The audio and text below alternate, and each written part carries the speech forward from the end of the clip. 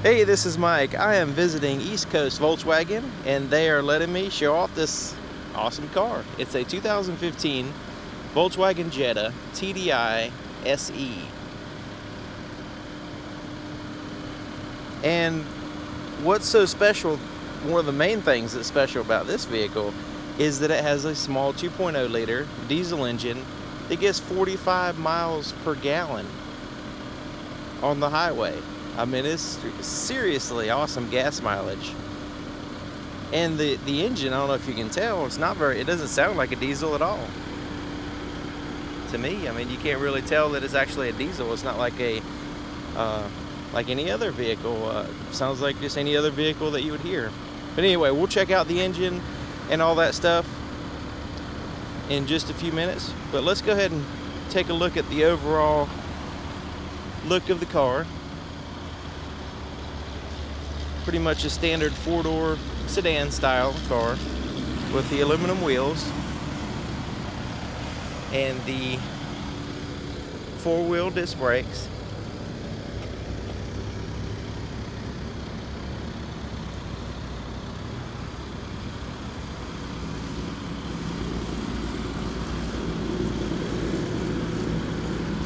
And then here in the front you have the running the running lights, daytime running lights with the halogen reflector headlights.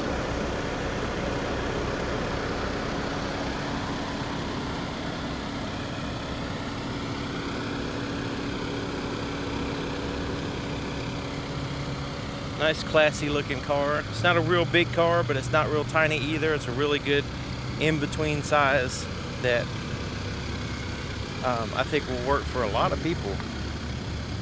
I guess that's why they, they make this style, this size vehicle that's kind of like most common. But let's go ahead and check out, start checking out the inside, starting with the passenger side.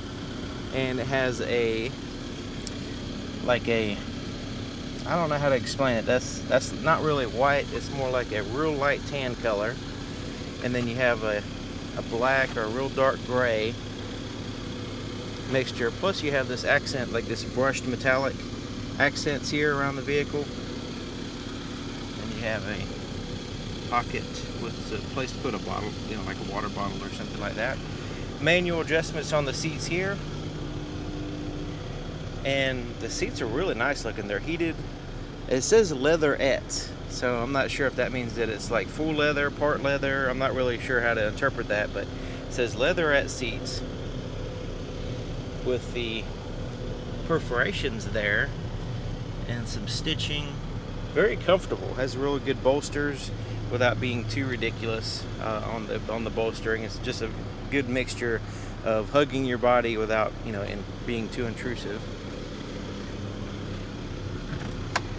There's the glove compartment, and the glove compartment has these little places to put change, a place to put a pen, that kind of stuff. Even a credit card, it looks like just slides right in here.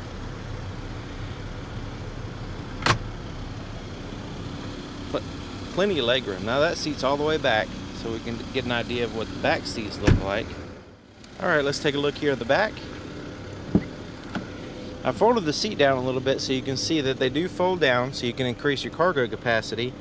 And the opening here is very substantial, um, especially considering it's a 60-40 split and you can have just one side, like this side right here is pretty good amount of room so you can put like a big box in there and you still have a passenger on the other side.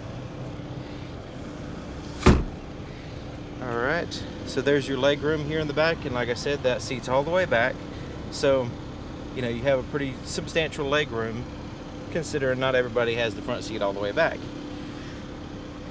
You do have some slight bolstering on the back seat but not quite as aggressive as the front because you want to be able to slide in and out of the bench seat especially for the center passenger. If you don't have a center passenger you can fold this down and you have an armrest and cup holders and then a little place there to access the trunk.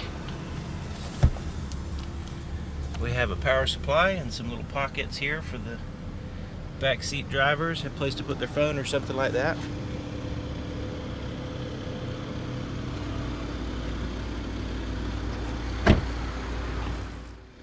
Here's the fuel door. It says diesel only and I'm not going to open up the cap uh, since it's running. But when you take the cap off, there's this little stud at the end. Will fit in this little hole.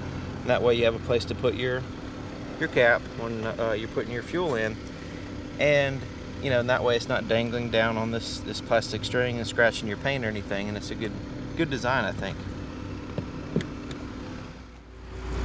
All right, so let's take a look at the trunk. Now there's this little latch here. Just under here to the left of the backup camera, there's a little a button. And you can see it has pretty decent trunk size. And, you know, of course, you could put the seats down if you need more, more room. Here's the latches to put the seats down here. And underneath this is your spare tire, which not all new cars have a spare tire, so you want to uh, check into that when you're looking at new cars.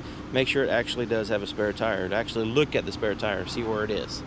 You don't want to find out that you don't have a spare tire at the wrong time.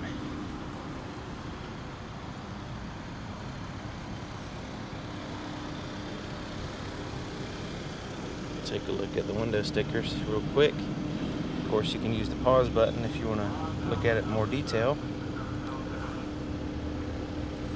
But look at that, 45 on the highway. That's amazing. Okay, so let's take a look at that diesel engine.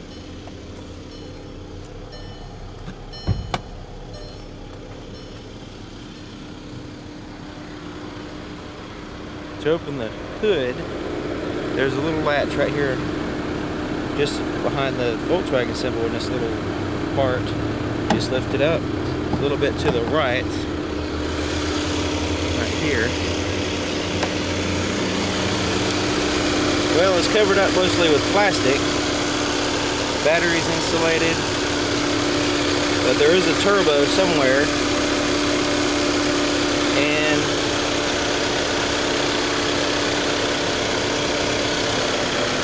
Oh, there it is, there in the back.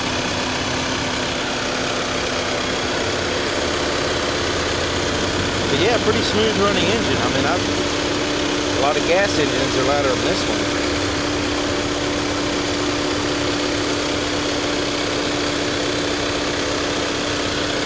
Alright, it is a direct injection turbocharged engine. That's what the whole TDI stands for. Alright, so let's take a, more, a little bit more detailed look into the driver's point of view. All right, here we are behind the wheel. So we can take a look at everything.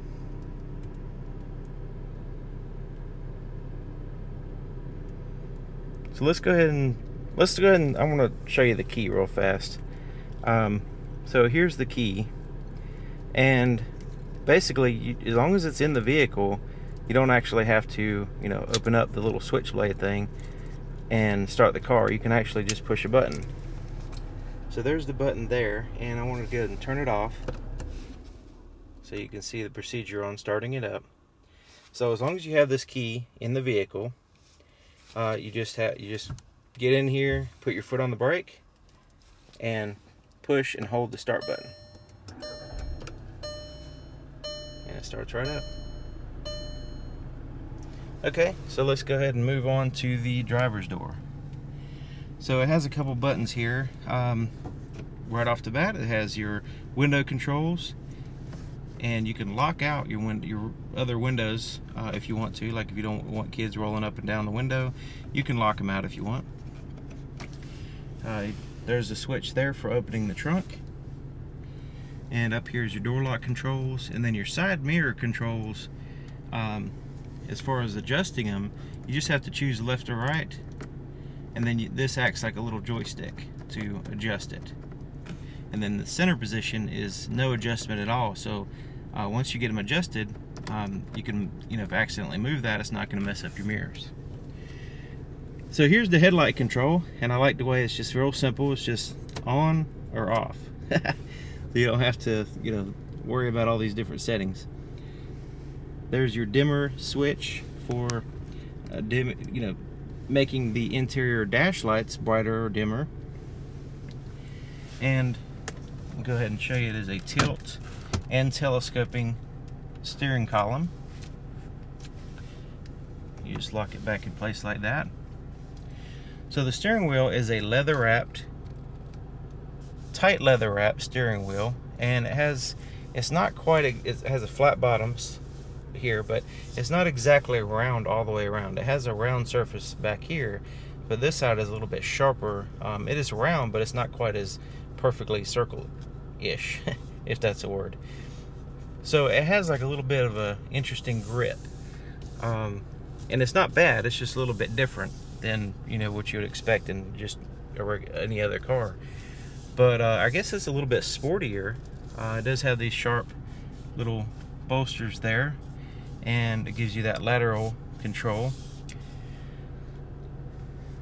and the black the shiny black is really pops out makes it classy looking so let's go ahead and look over here on this side uh, this is your cruise control and you just have to make sure it's turned on with this button on or off and it will let you know here on the on the dash if it's on and then once it's on you can set it uh, you can adjust your speed you know, plus or minus. You can resume and then you can cancel. So those are the main features there. This is a volume for your radio, so you just get louder if you want to do that. Okay, so on this side of the steering wheel, we have some buttons, and they're kind of, uh, some of them correspond to this screen, some of them correspond with that screen. So this right and left button will change you through uh, like presets and stuff on the radio or different tracks on the CD or something like that. But these up and down buttons and these buttons correspond with this screen. So I'm to just kind of scroll through so you can see miles um, to empty, uh, 35 miles on the vehicle, uh, average like miles per hour, current miles per hour, stuff like that. Outside temperature and a, you know, just a clock. So and also if you get into a particular screen like say this trip uh, you can push this right and left and choose uh, you know different things in in that particular screen so like that's a trip one and trip two. Um, so you can go up and down you can go left and right. Now these other buttons here correspond to the a third thing and that is your uh, your phone. So when you have a Bluetooth phone paired with the system you can answer calls with this button. You can make calls. You can act, answer and hang up on calls. So like say if somebody calls you you can push that button and answer it then when you're finished with the call you push it again to hang up if you want to make a call you see this little it looks like a little uh, person speaking when you push that it has a voice recognition system that will uh, recognize what you say so if you say call John Smith and you have a John Smith in your phone book on your phone and everything saved, um, then it'll actually call that person. you can also say, call, you know, whatever the number is. And it does a pretty good job of recognizing your voice, and it also will, you know, kind of adapt itself to more, the more you speak to it, the more it gets used to your voice. So that's a good thing. And it's a really good safety feature because you have your hands on the wheel, eyes on the road, and you're staying productive making and receiving phone calls. Very awesome. So, you know, this is this side is a little bit a little bit more involved as far as what it does, but once you get used to it, I mean it's it's a no-brainer. It's just a matter of getting used to it, especially if you drive the car every day. Okay, so on this side is just your turn signal and you know have your high beams and low beams. That side is just for your uh, windshield wipers. So let's look at the gauges again. Real simple, easy to read. The black background, the white lettering popping out it's classy, it's simple, and it's very uh, easy. Like I said, easy to read. I guess you could say. So the RPMs there on the left, miles per hour there on the right, and it says 160 miles an hour. That's amazing. So you have that center screen, and you know you saw some of the different information that it has on it. But uh, your gas gauge is there at the very bottom, and you notice the arrow next to the little pump is aiming to the right. That's showing you which side your fuel door, door is on. And then up here you have a clock and then a, you know, what gear you're in. So right now it's in park. All right. Now, if you need to set the clock, you can set it with this button over here. If you want to reset your trip, you set it with that button. Okay, so let's take a look over here. This is your touchscreen and you know has the ability it's got the am fm satellite radio uh, media. There's lots of different media inputs. One one of the media inputs would be the sd card right here. You can put hundreds or thousands of songs on it plug it in there and you're good, good to go for forever basically. Also you can play music through a bluetooth phone or your cd and you know you can actually plug in iPod if you really wanted to. And there's an auxiliary input as well which we'll get to that in a minute uh, your phone this is where you would pair it but once it's paired you would actually have a screen there that has the numbers showing um, you know like a keypad and all that stuff and access to your your phone book and you can set up all that stuff in your setup screen you set change the display um, you know adjust your you know pair of telephones you do have the volume and tune through the stations, pretty standard there. And so down here is your climate control.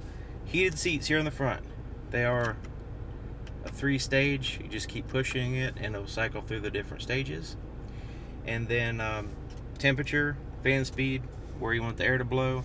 Pretty simple there. Recirculate the air. All right. And then down here is your auxiliary input, a power supply, 12 volt, plus a convenient pocket back in there. And there's your start button, which we saw before. And so here's your shifter. So let me go ahead and shift it in reverse so we can see what the backup camera looks like. So the backup camera is a wide angle view. You can see it's it's very stretched out. The, the horizon is, you know, very curved. So it distorts the image a little bit and to kind of correct for that, it gives you these yellow guidelines. Don't confuse those with the white lines. Those are actually on the pavement uh, in the parking lot. But those yellow guidelines give you a an estimated trajectory estimated trajectory of the car. Uh, also, it will give you the um, distance. So, like, say you see that yellow line, you don't want to get any closer than that yellow line because that's literally just a few inches away from the car. It looks like it's more room than what it actually is. So the closer you get, the more distance you think you might have because of the distortion from the lens. The main thing of the backup camera is to show you what's behind you. Uh, the distances are a little bit off just because of the nature of the wide angle lens. So have just pay attention to the lines. You know, you don't want to get any any closer. That's like maximum that yellow line right there. Okay, so let's go ahead and put the shifter down in neutral. And then drive. And then if you want the best performance you could possibly get out of the vehicle, you go down into sport mode. In sport mode, you're just telling the vehicle that you want the highest performance you can get out of the vehicle. Uh, you don't really care about the fuel economy. But if you want to actually have control over the shift points in the transmission, you just slide this over to the right and you can cycle up and down through the different gear ratios. Just sort of like an old ratchet shifter. Ratchet shifter. So that's handy if you're, you know, especially if you're going downhill and you need some engine braking. Um, you can actually change the gears. There's your parking brake. Here's cup holders with little spring-loaded things here that take out the slack for different size cups. So here's an armrest and it kind of slides forward and back, whatever, you know, whatever is convenient for you. And it also lifts up. And there's a there's a special adapter for this um, for different inputs like your iPod and stuff. And it, the car does come with one, so you can you know play all kinds of different music off of an iPod in the system there. And then you have a storage pocket there. up here pretty much standard um, flippy thing here at the bottom for your day and night mode for your rearview mirror you do have some tap lights which will give you a quick access reading light now if you want to turn all the lights on you just push that button there uh, this has three different positions. One is to have the lights on. The center position is for when the door opens, the lights turn on, or you can have it completely off. Even when the doors open, the lights will not turn on. All right, this is for your uh, sunroof, which I'll show you that in a second. And these buttons actually will dial out and actually call people, so I'm not gonna push them. But, you know, emergency, roadside assistance, information, stuff like that is what that will provide. And this is a place to put your shades. Okay, so it's sunroof time, and you notice it has this dial. So I'm gonna go ahead and open the shade. It has a pretty neat shade that blocks out 100% of the light. So now it's open. So all I gotta do is push up on it to open up the, um, the actual sunroof, uh, like tilt it. But if I want it back, I just turn the dial. and then I can close it like that. Okay, so let me show you again. Push it up, tilt it, pull it down, tilt, tilt it down, turn the dial to actually open it. Turn it back to close it. And at any time, you don't want to have some sun in your face or whatever, you can close the shade. Also, on the visors, you have mirrors with little lights that turn on right above them when you open up the mirror. Take a look at the visibility back here.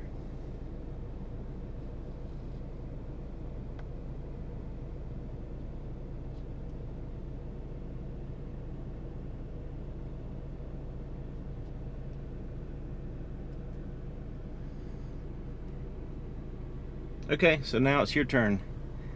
Tell me what you think of this car. If, if you've ever had experience, you, maybe you drive one of these or you've test driven one, you're thinking about buying one, uh, you considered one, anything like that, go ahead and leave it in the comments what you think about the car, uh, what your experience is, because this is you know an information video. Hopefully it will help other people. So if you can put in your inf- your experience with a vehicle like this um, it will help other people so thank you for watching. I really appreciate your time.